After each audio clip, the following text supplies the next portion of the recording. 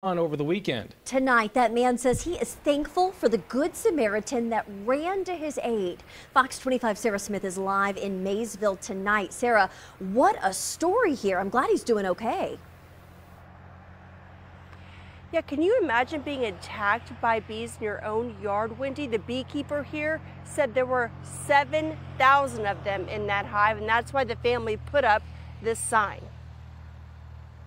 A normal Friday morning for 81 year old Carl Amos, mowing his front yard, then a swarm of bees. He got off the lawnmower and he started toward our front porch.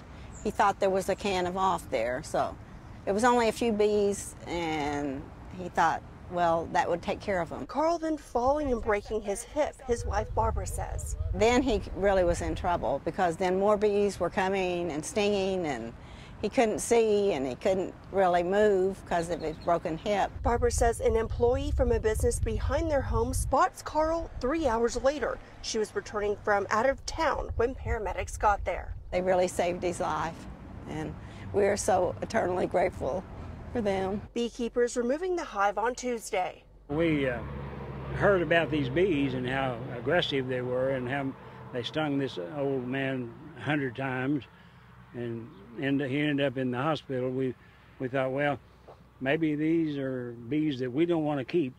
That we need to eliminate those kind of bees. He's really a tough guy. I really have never met him yet because he's in the hospital, but uh, he, he'd have to be really tough to withstand that many stings. Barbara says they're expecting to leave the hospital Wednesday and spend a few weeks in rehab because of Carl's broken hip.